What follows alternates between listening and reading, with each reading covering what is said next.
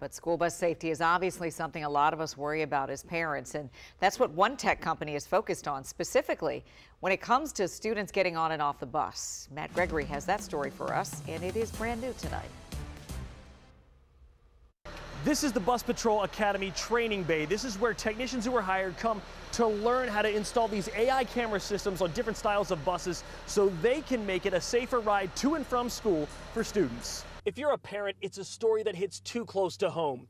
Careless drivers passing school buses, narrowly avoiding tragedy, or worse. We want to make sure all the drivers in, in America are stopping when they see a school bus stopped. It's a simple mission, but Bus Patrol's Alex Lane says the technology to get there, not so simple. This is our AI-enabled camera. Where's it go? And it goes on the, the top of the bus. Okay. And it's looking from stop arm to stop arm. Bus Patrol is a school bus safety camera system, and it harnesses AI for its cameras to recognize when a car drives through a school bus stop arm. And they're able to accurately capture the license plate, and that's important because that video then gets sent to law enforcement. Then the driver gets a fine. Simple. But to get the tech on the bus, how long does it take to install this so system an on the average bus? installation can take around five and a half hours to six hours, depending on the type of the bus. Lane says that's why they've opened the Chantilly Bus Patrol Academy to teach the technicians. And take it from me, it's a rigorous course.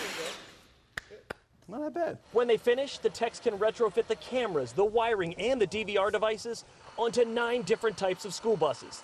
Then they get sent out to install on buses across the country where Lane says they already see the impact. As it's, it's enacted in various programs, 20, 30% reductions year over year. In the DMV, several Virginia school districts use it, but in Maryland, it's more widespread. Several counties employ bus patrol, including Montgomery and Prince George's County, where they also have this onboard camera. It provides uh, uh, HD with microphone and night vision uh, to make sure the students are safe on the bus. In June of 2023, Bus Patrol says that camera played a crucial role, capturing the video of Caden Holland, aka Baby K, attempting to murder another student on a Prince George's County school bus.